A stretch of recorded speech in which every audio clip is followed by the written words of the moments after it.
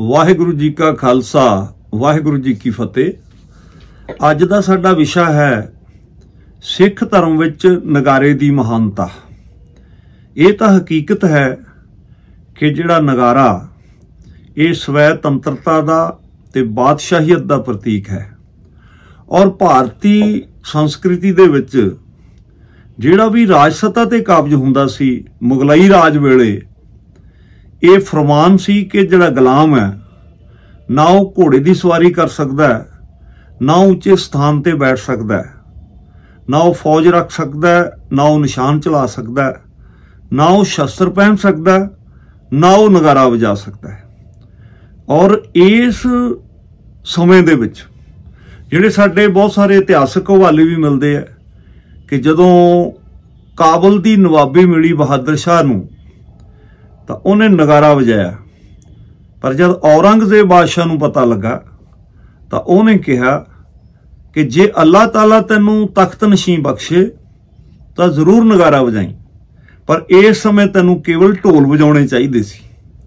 ਕਹਿਣ ਤੋਂ ਭਾਵ ਕਿ ਇਹ ਇੱਕ ਭਾਵਨਾ ਬਣ ਚੁੱਕੀ ਸੀ ਕਿ ਨਗਾਰੇ ਦਾ ਅਧਿਕਾਰ ਜਿਹੜਾ ਉਹ ਕੇਵਲ ਰਾਜ ਸਤਾ ਤੇ ਕਾਬਜ ਜਾਂ ਬਾਦਸ਼ਾਹੀਅਤ ਨੂੰ ਹੈ।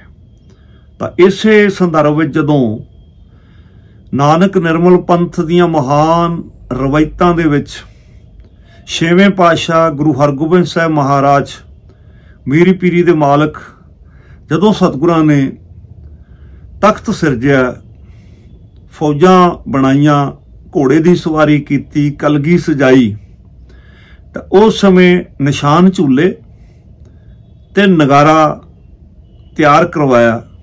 ਔਰ ਇਤਿਹਾਸ ਵਿੱਚ ਆਉਂਦਾ ਕਿ ਸਤਿਗੁਰੂ ਜਦੋਂ ਇੱਕ ਸਥਾਨ ਤੋਂ ਦੂਜੇ ਸਥਾਨ ਵੱਲ ਚਾਲੇ ਪਾਉਂਦੇ ਸਨ, ਤਾਂ ਲਗਾਤਾਰ ਨਗਾਰੇ ਦੀ ਚੋਟ ਨਾਲ ਚੱਲਦੀ ਸੀ ਕਿ ਜਿਹੜਾ ਸਤਿਗੁਰ ਸੱਚੇ ਪਾਤਸ਼ਾਹ ਜਾ ਰਹੇ ਨੇ। ਔਰ ਭਾਈ ਰੂਪਾ ਜੀ ਨੂੰ ਜਦੋਂ ਬਤੌਰ ਪ੍ਰਚਾਰਕ ਸਥਾਪਿਤ ਕੀਤਾ, ਤਾਂ ਉਸ ਨੂੰ ਇੱਕ ਝੰਡਾ ਤੇ ਨਗਾਰਾ ਬਖਸ਼ਿਸ਼ ਕੀਤਾ। ਇਹ ਇੱਕ ਸਿੰਬੋਲਿਕ ਵੀ ਹੈ ਕਿ ਸੁਤੰਤਰ ਹੋ ਕੇ ਨਾਨਕ ਨਿਰਮਲ ਪੰਥ ਦੀਆਂ ਮਹਾਨ ਰਵਾਇਤਾਂ ਪਰੰਪਰਾਵਾਂ ਦਾ ਪ੍ਰਚਾਰ ਕਰਨਾ ਕਿਉਂਕਿ ਝੰਡਾ ਨਿਸ਼ਾਨ ਸਾਹਿਬ ਤੇ ਨਗਾਰਾ, ਇਹ ਆਜ਼ਾਦ ਹਸਤੀ ਦਾ ਸੁਤੰਤਰਤਾ ਦਾ ਚਿੰਨ੍ਹ ਹੈ। ਔਰ ਸਤਵੇਂ ਪਾਤਸ਼ਾਹ ਦੇ ਸਮੇਂ ਜਦ ਲੰਗਰ ਦੀ ਰੰਭਤਾ ਹੁੰਦੀ ਸੀ ਤੇ ਸਤਿਗੁਰਾਂ ਉਪਦੇਸ਼ ਕੀਤਾ ਕਿ ਨਗਾਰੇ ਤੇ ਚੋਟ ਲਾਉਣੀ, ਤਾਂ ਕਿ ਕੋਈ ਦੂਰ ਦੂਰ ਤੱਕ ਕੋਈ ਭੁੱਖਾ ਵੀ ਹੈ, ਲੋੜਵੰਦ ਹੈ, ਤਾਂ ਉਹ ਵੀ ਨਗਾਰੇ ਦੀ ਚੋਟ ਸੁਣ ਕੇ ਗੁਰੂ ਦੇ ਲੰਗਰਾਂ ਵਿੱਚ ਆ ਕੇ ਪ੍ਰਸ਼ਾਦਾ ਛਕ ਲਵੇ। ਨਗਾਰੇ ਬਾਰੇ ਅਕਸਰ ਸਮਰਥ ਕੋਸ਼ ਦੇ ਵਿੱਚ ਜਿਹੜੇ ਹੈ, ਤਕਰੀਬਨ 22 ਦੇ ਕਰੀਬ ਸ਼ਬਦ ਨੇ। ਜਿਵੇਂ ਸੀ ਨਗਾਰੇ ਨੂੰ ਨਗਾੜਾ ਵੀ ਕਹਿੰਦੇ ਆ ਨਿਸ਼ਾਨ ਵੀ ਕਹਿੰਦੇ ਆ ਨੀਸ਼ਾਨ ਵੀ ਹੈ, ਡੰਕਾ ਵੀ ਹੈ, ਰਣ ਗगन ਦਮਾਮਾ ਬਾਜੋ ਦਮਾਮਾ ਵੀ ਨਗਾਰਾ ਹੈ। ਨੌਬਤ ਵੱਜੀ ਸਵੇਰ ਸੋਂ ਨੌਬਤ ਵੀ ਨਗਾਰਾ ਹੈ। ਔਰ ਇਹਦੇ ਨਾਲ ਮਾਰੂ ਵੀ ਸ਼ਬਦ ਹੈ, ਭੇਰੀ ਵੀ ਸ਼ਬਦ ਹੈ। ਔਰ ਇਸੇ ਤਰ੍ਹਾਂ ਤਬਲ ਸ਼ਬਦ ਵੀ ਜਿਹੜਾ ਹੈ, ਉਹ ਨਗਾਰੇ ਵਾਸਤੇ ਆਇਆ। ਤਾਂ ਹੋਰ ਸ਼ਬਦ ਵੀ ਨੇ, ਇਹ ਪ੍ਰਚਲਿਤ ਸਾਡੇ ਸਾਹਿਤ ਦੇ ਸ਼ਬਦ ਨੇ। ਔਰ ਕਿਉਂਕਿ ਜਿਹੜਾ ਨਗਾਰਾ, ਦਸਮ ਪਾਤਸ਼ਾਹ ਮਹਾਰਾਜ ਜੀ ਨੇ 1684 ਈਸਵੀ ਵਿੱਚ ਨਗਾਰਾ ਜਿਹੜਾ ਤਿਆਰ ਕਰਾਇਆ, ਇਹਦਾ ਨਾਮ ਰਣਜੀਤ ਨਗਾਰਾ ਰੱਖਿਆ। ਰਣ ਨੂੰ ਜਿੱਤਣ ਵਾਲਾ ਔਰ ਇਹ ਵੀ ਕਿਹਾ ਜਾਂਦਾ ਇਤਿਹਾਸ ਵਿੱਚ ਕਿ ਮਸੰਦਾ ਨੇ ਮਾਤਾ ਗੁਜਰੀ ਜੀ ਤੱਕ ਪਹੁੰਚ ਕੀਤੀ ਕਿ ਹੁਣ ਗੁਰੂ ਘਰ ਵਿੱਚ ਨਗਾਰਾ ਵੀ ਬਣ ਗਿਆ, ਸੱਜ ਗਿਆ ਤੇ ਨਗਾਰੇ ਤੇ ਜਿਹੜੀ ਚੋਟ ਲੱਗਦੀ ਹੈ, ਇਹਦੇ ਨਾਲ ਬਹੁਤ ਸਾਰੀਆਂ ਮੁਸ਼ਕਲਾਂ ਦਾ ਸਾਹਮਣਾ ਕਰਨਾ ਪਏਗਾ।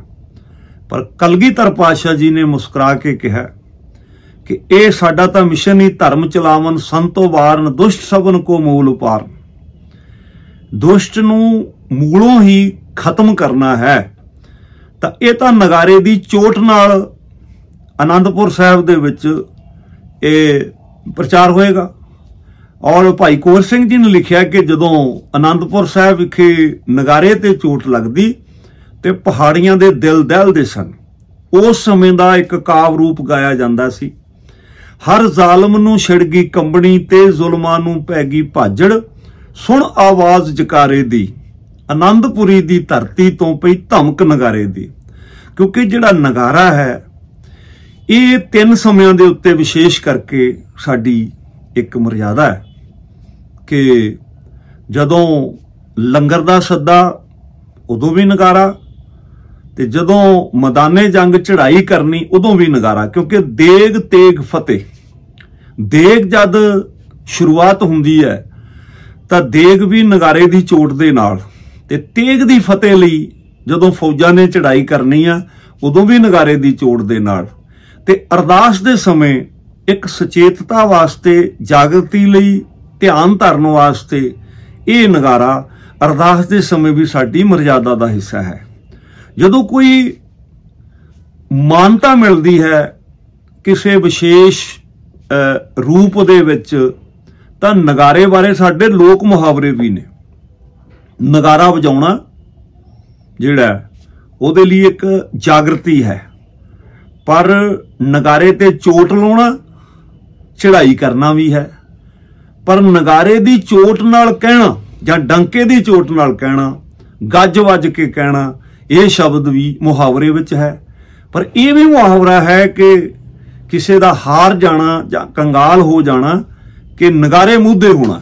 ਮਤਲਬ ਜਦੋਂ ਕੋਈ ਮੁਹਾਵਰੇ ਵੀ ਹੋਂਦ ਵਿੱਚ ਆਉਂਦੇ ਆ, ਤਾਂ ਉਸ ਜਿਹੜਾ ਰੂਪ ਹੁੰਦਾ, ਕਿਸੇ ਚੀਜ਼ ਦਾ, ਕਿਸੇ ਵਸਤ ਦਾ, ਉਹਦਾ ਪ੍ਰਗਟ ਰੂਪ ਹੁੰਦੇ ਇਸ ਲਈ ਜਿਹੜਾ ਨਗਾਰਾ ਹੈ, ਨਗਾਰਾ ਆਪਣੇ ਆਪ ਵਿੱਚ ਇੱਕ ਸ਼ਕਤੀ ਹੈ, ਨਗਾਰਾ ਇੱਕ ਚੇਤਨਤਾ ਹੈ।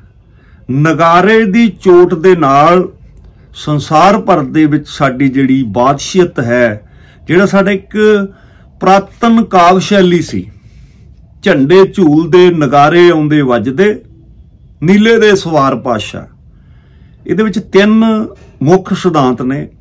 ਝੰਡਾ ਝੂਲਦਾ ਸੁਤੰਤਰਤਾ ਦਾ ਪ੍ਰਤੀਕ ਹੈ। ਔਰ ਨਗਾਰੇ ਆਉਂਦੇ ਵੱਜਦੇ, ਆਜ਼ਾਦ ਹਸਤੀ ਦਾ ਚਿੰਨ ਹੈ। ਤੇ ਨੀਲੇ ਦਾ ਸਵਾਰ ਕਲਗੀਧਰ ਪਾਸ਼ਾ ਕਿ ਇਹ ਸਾਰਾ ਜਿਹੜਾ ਗੁਰੂ ਨਾਨਕ ਨਿਰਮਲ ਪੰਥ ਦੀਆਂ ਮਹਾਨ ਰਵੈਤਾਂ ਦੇਖ ਤੇਗ ਫਤਿਹ, ਸਰਬੱਤ ਦਾ ਭਲਾ, ਸੁਚੇਤਤਾ, ਚੇਤਨਾ, ਇਹ ਨਗਾਰੇ ਨੇ ਇੱਕ ਆਪਣਾ ਵਜੂਦ ਸਿਰਜਿਆ। ਇਸੇ ਲਈ ਜਦੋਂ ਸਾਡੇ ਪੁਰਖਿਆਂ ਨੇ ਸਿੱਖ ਰਹਿਤ ਮਰਜ਼ਾਦਾ ਤਿਆਰ ਕੀਤੀ, ਤਾਂ ਗੁਰਦੁਆਰਾ ਸਾਹਿਬ ਦੀ ਮਰਜ਼ਾਦਾ ਦੇ ਵਿੱਚ ਦਰਜ ਹੈ, ਜੋ ਤਕਰੀਬਨ 15 ਨੰਬਰ ਸਫੇ ਤੇ ਹੁੰਦਾ ਕਿ ਹਰ ਗੁਰਦੁਆਰਾ ਸਾਹਿਬ ਵਿੱਚ ਨਗਾਰਾ ਹੋਵੇ ਜੋ ਸਮੇਂ ਸਿਰ ਸਮੇਂ-ਸਮੇਂ ਸਿਰ ਵਜਾਇਆ ਜਾਵੇ।